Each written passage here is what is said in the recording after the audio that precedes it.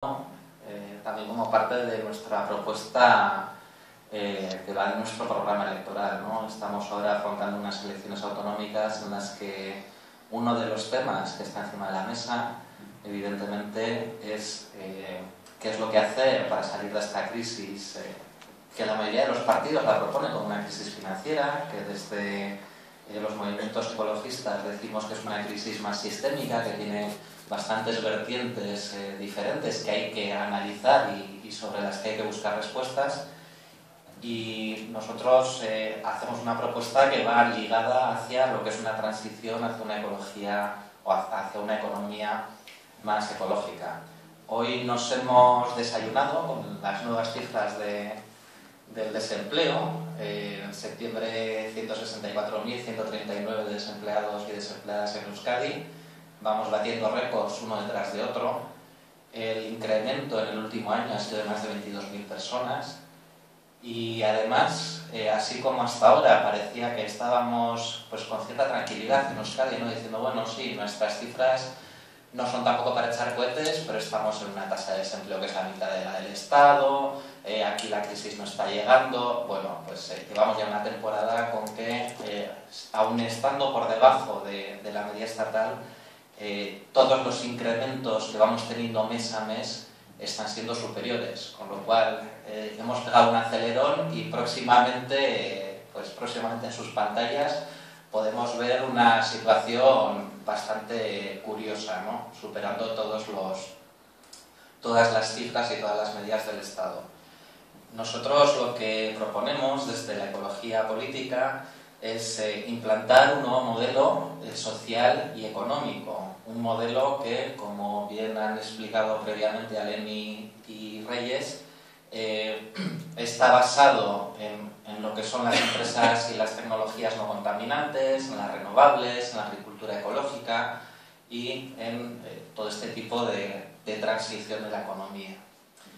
En concreto, nuestra propuesta, y son cifras que las hemos numerado, eh, lo que hemos visto es que en esta reconversión del modelo productivo, en lo que llamamos ecoempleos, somos eh, capaces o hemos analizado que se pueden crear más de 45.000 puestos de trabajo nuevos.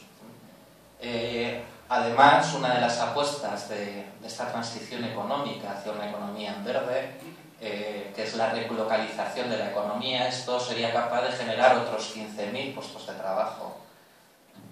Si implantamos unos servicios públicos de calidad, si revertimos todos estos recortes que está habiendo en los servicios sociales, si somos capaces también de, eh, desarrollar la ley de dependencia, si somos capaces también de todo lo que son los cuidados y la economía de los cuidados, que ahora mismo está de alguna manera privatizada en el entorno familiar, si somos capaces de visibilizarlo y de generar trabajo de esa forma, somos capaces de generar 10.000 puestos de trabajo. Si además somos capaces de repartir el trabajo, esto estamos haciendo encuentros con los sindicatos los últimos días y, ya les decimos ¿no? que parece que es una, una, causa ya perdida, las famosas 35 horas semanales. Pues bueno, nosotros proponemos recuperarlas y con este reparto de trabajo seríamos capaces de generar hasta 15.000 puestos de empleos nuevos. Con lo cual, lo que vemos es que hay un potencial en estos momentos en Euskadi de generar 85.000 puestos de trabajo. Acordaros que el desempleo en la actualidad es de 165.000. Por lo tanto, estamos consiguiendo reducir en más de la mitad el desempleo en Euskadi. Como digo, esto no son cifras que nos hemos inventado y que hemos dicho 45.000 es un número muy bonito, 9 por 5, son cosas así curiosas, ¿no? No, no, no nos los hemos sacado de la manga, hemos hecho una contabilización, hemos mirado sector por sector qué posibilidades tenemos de generar empleo y hemos visto todas estas cifras que están aquí. Por rehabilitación de viviendas, 15.000 nuevos empleos. Por implantar la movilidad sostenible, 2.500 nuevos empleos por hacer una buena gestión ambiental, 2.700, por gestionar bien nuestros recursos naturales, 13.800, por implantar las energías renovables, 11.000 nuevos empleos. Son cifras que la verdad es que, como decía Reyes, pues son buenos y son tan buenas porque no se instauran, ¿no? Esta es un poco nuestra pelea ahora mismo. ¿De dónde las estamos sacando? Cuando hablamos de rehabilitación de edificios, que estamos hablando de 15.000 nuevos empleos, estamos hablando de auditorías energéticas. Tenemos en Euskadi un parque de viviendas relativamente antiguo, muchas de ellas además construidas en los años 60 y 70 con una, eh, con una reglamentación a nivel energético bastante deficiente y por lo tanto es necesario realizar auditorías energéticas sobre todo el parque de viviendas de Euskadi sobre todo partiendo de eh, lo que son los edificios más antiguos. También es necesario hacer, una, hacer cumplir la certificación energética de eficiencia energética de los edificios nuevos. Esto es, es una, una normativa que nos viene de Europa y que aquí siempre vamos un poco a remolque. ¿no? La Unión Europea hace ya bastantes años que, propuso una normativa de certificación energética. Aquí salió un Real Decreto para que previo a la regulación, y estamos esperando la regulación, llevamos años con este tema, yo que trabajo en este, pues es un poco ya deprimente ¿no? cuando va a llegar. También proponemos eh, llegar en los edificios nuevos a partir de 2015 eh, conseguir que estos edificios sean energéticamente autosuficientes. Esto no es una quimera, no es una cosa que no se pueda conseguir.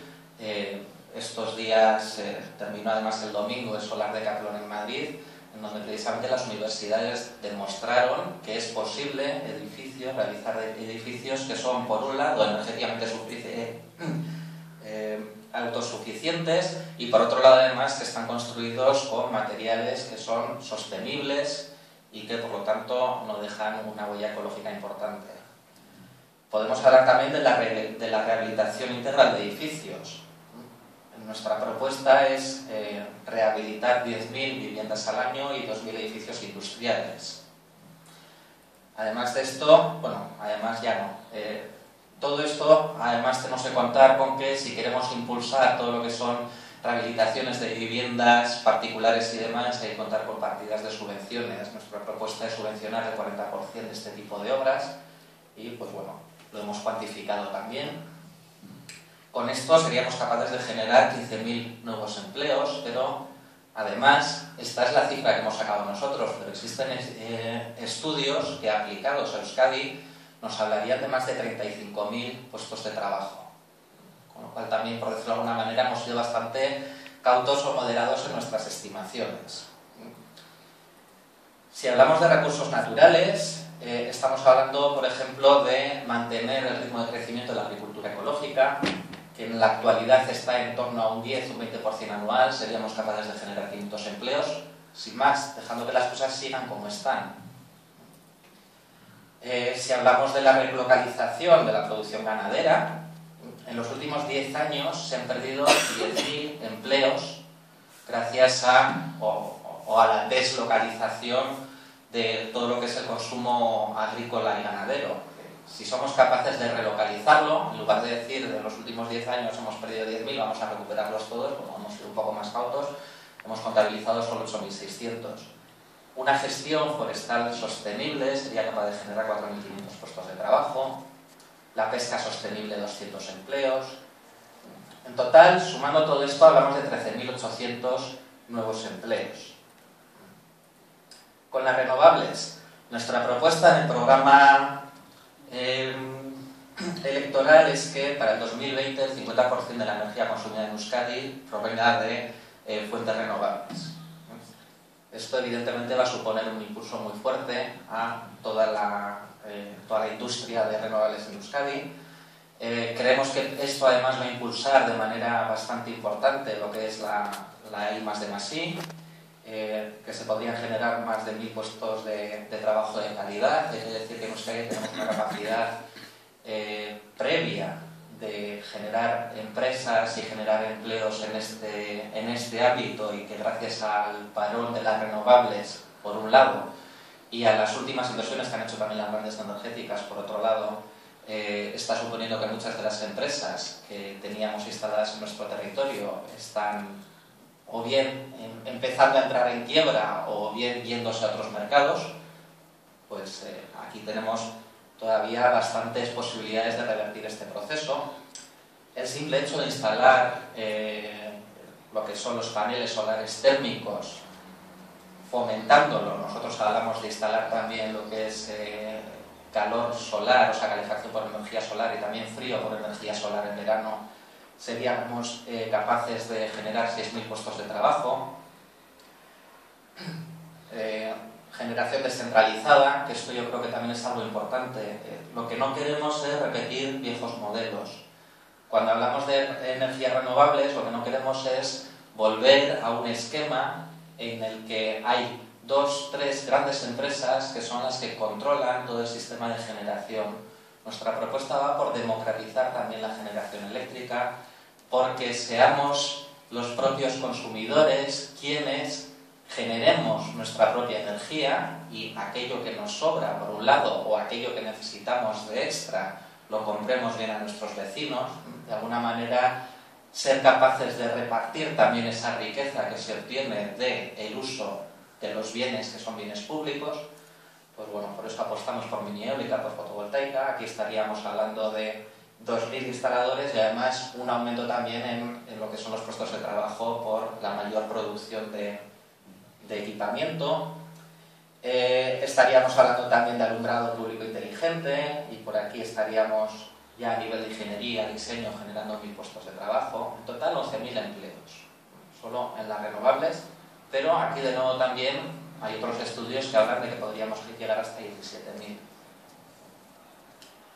Con respecto a la gestión ambiental, estaríamos hablando de modernizar el abastecimiento de agua. Eh, las redes de abastecimiento que tenemos en estos momentos, sobre todo las grandes redes, son redes bastante viejas, que están además teniendo bastantes pérdidas de agua en la distribución, con lo cual aquí tenemos un doble beneficio. ¿no? Por un lado, generamos un puesto de trabajo en todo lo que es el mantenimiento y la reparación, pero además tenemos un ahorro del agua. En Euskadi creo que también vivimos un poco con el sueño de hace, de hace unas décadas de que no tenemos escasez de agua, pero cada vez la sequía va llegando más arriba, más al norte y algún año nos pillará. ¿no? Entonces está bien ser previsores y tener un sistema de abastecimiento previo que nos permita eh, tener una buena gestión del agua. Todo el tema de depuración de aguas residuales, hay todavía muchas industrias y muchos pueblos en los que se están haciendo vertidos directamente a, los, a nuestros sistemas fluviales y, que tenemos que, gestionarlos. ¿no? Eh, aquí, vale, ya me estoy dando cuenta. El primero era la red de abastecimiento de agua eh, en agricultura y este segundo es la, el doméstico recogida selectiva en, residuos, en, los residuos sólidos urbanos, el famoso puerta a puerta o el famoso quinto contenedor. Nos da lo mismo de una forma o de otra, pero la recogida selectiva es también capaz de generar puestos de trabajo. Y además no solo que sea capaz, sino que es necesario, estamos hablando de porcentajes por encima del 40% de la fracción orgánica en, nuestras, en nuestros residuos y que esos además son fácilmente reutilizables mediante compostaje, por ejemplo, con lo cual tenemos beneficios adicionales desde todas las perspectivas. Una reorientación del, eh, del sistema productivo hacia la sostenibilidad también sería capaz de generar 700 puestos de trabajo. Aquí estamos hablando de ecodiseño, de análisis de ciclo de vida, Estamos hablando del ciclo, del cierre de las materias primas. De alguna manera, ahora hay unas partes de las empresas que se dedican a extraer en un sitio, se lleva a otro lado donde se procesa y se lleva a otro lado donde se deposita para, para no sabemos para qué. Pues bueno, ser capaces de cerrar el ciclo mediante la reutilización o mediante el reciclaje. Ahí seríamos capaces también de generar 700 puestos de trabajo, en total 2.700. Finalmente, movilidad sostenible. Todo lo que es la obra, todo lo que es la integración de las redes de transporte urbano, estableciendo un billete único, por ejemplo, todo lo que es la electrificación de, la movilidad, esto sería capaz de generar 200 empleos. Eh, tenemos una propuesta también de que en aquellos polígonos industriales eh, de cierto tamaño y sobre todo en las grandes empresas exista un sistema de, de movilidad eh, común entre las personas que, van a acudir a esos puestos de trabajo. Hablamos también de que los pequeños núcleos tienen que tener un transporte público, un transporte público que sea adecuado a ese, pequeño, a ese pequeño núcleo, evidentemente. No vamos a poner un autobús de 100 plazas con dos pisos para ir a un, a un pueblo que tiene 100 habitantes. Pero bueno, hay, hay otros modelos de sostenibilidad, o sea, de movilidad Estamos hablando también de la mejora de la red ferroviaria de cercanías, con la, ventaja adicional de que en este caso la mayoría de ellas ya está electrificada, con lo cual eh, es una manera bastante rápida de acceder a un, a un transporte sostenible. Hablamos también de la reducción de impacto en las grandes vías. Eh, esto ha sido dicho muy bien, me doy cuenta ahora.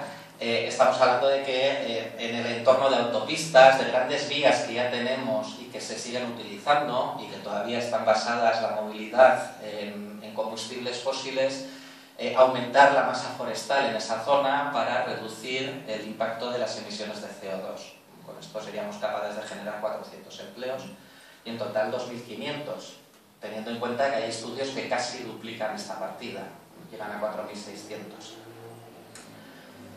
Este reto que tenemos de generar 45.000 puestos de trabajo, no solo hemos sido capaces de cuantificarlo, sino que también lo hemos cuantificado económicamente.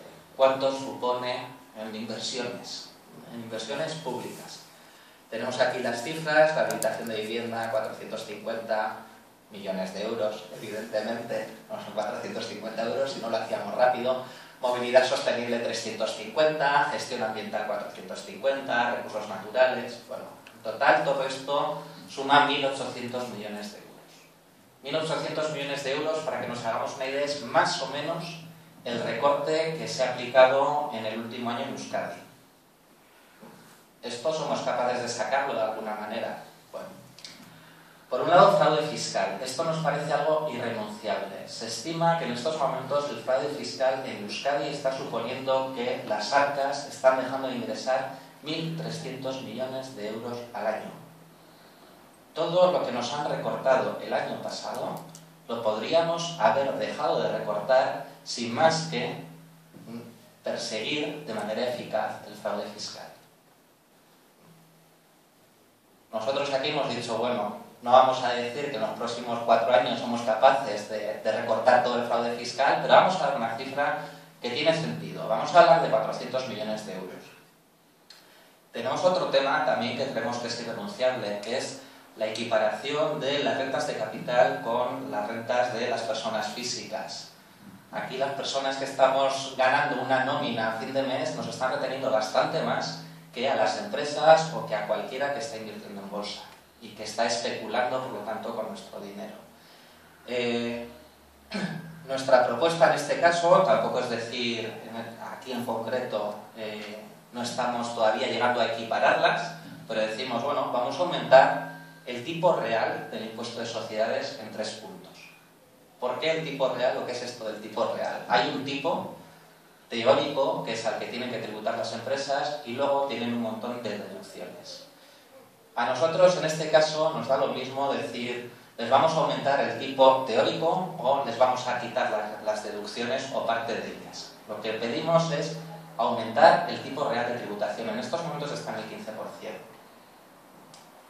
Pasarlo al 18% supone movilizar 1.400 millones de euros más. Que estos además puede ser de una manera bastante fácil, es decir, las empresas contaminantes, estas empresas se les quitan las deducciones lo hacemos muy rápido. De manera que además, de alguna forma, obligamos también a las empresas a hacer una transición hacia la sostenibilidad, porque obtienen, entre comillas, un, un beneficio económico. ¿no? Cuando dejan de contaminar, pueden volver a utilizar esas deducciones. Con estas dos medidas, así de sencillas, seríamos capaces de financiar todo este, toda esta propuesta de eh, empleos verdes. Hay que decir además que aquí nos estamos haciendo una trampa nosotros mismos. Eh, evidentemente, según se va generando empleo, esa generación de empleo va a suponer un aumento de la entrada de dinero en las arcas públicas, pero eso no lo estamos considerando. Nosotros decimos a fecha, de, con las capacidades que tenemos, ¿somos capaces de generarlo? Somos capaces. Estamos viendo que, además, las, las cifras de alguna manera nos cuadran. De manera que, como para terminar, lo primero que, queremos también destacar es que en esta transición no queremos poner un parche. Reyes ya ha comentado parte de ello. Eh, no queremos que estos puestos de trabajo sean puestos de trabajo eh, que no sean de calidad. Queremos un trabajo decente. No queremos repetir los viejos esquemas de reparto de trabajo entre géneros, que también nos parece algo sangrante. De manera que queremos que este nuevo plan también nos sirva para reequilibrar la economía.